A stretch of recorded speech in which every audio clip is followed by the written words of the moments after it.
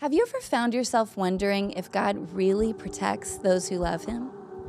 I've gone through seasons of opposition where difficulties seem to just keep coming and coming, and I've cried out, God, when will you intervene? When will you step in to protect me? But it's in those moments that I'll pause and remind myself that God protects in many ways. Just a few quick examples.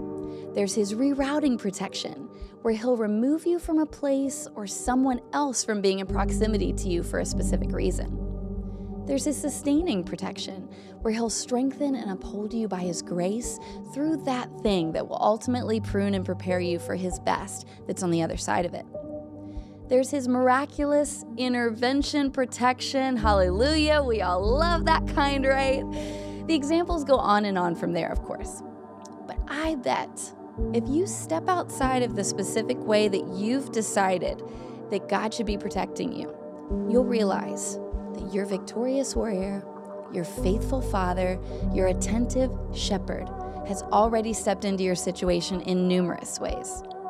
Psalm 46 1 says, God is your refuge and strength, your ever present help in trouble.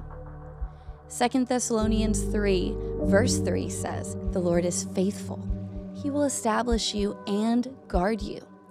Psalm 138 7 says, Though I walk in the midst of trouble, you preserve my life. You stretch out your hand against the anger of my foes, and with your right hand you save me. I trust that the truth of His word will hit your heart right where you are in a personal way as we go to the Lord together in prayer. Thank you, God, that you do protect us in every sorrow and every joy. Help us to discern your nearness and to grow in a sensitivity to your voice. Fortify our ability to grow through the tough things, knowing that you're in the fire with us each step of the way. In Jesus' holy name I pray. Amen.